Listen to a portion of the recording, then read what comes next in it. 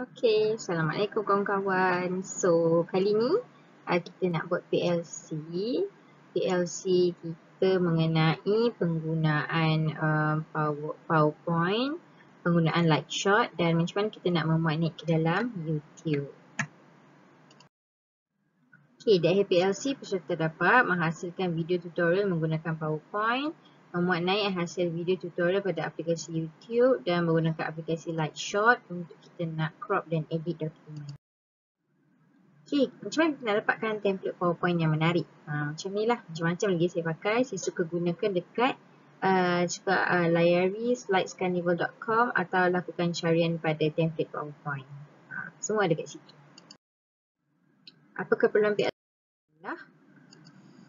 Kita nak ada PowerPoint Windows 20 uh, 2010 ke atas dan juga ada aplikasi Lightshot yang saya dah masukkan pada grup Telegram. Jadi aku tunggu lagi, jom kita mula.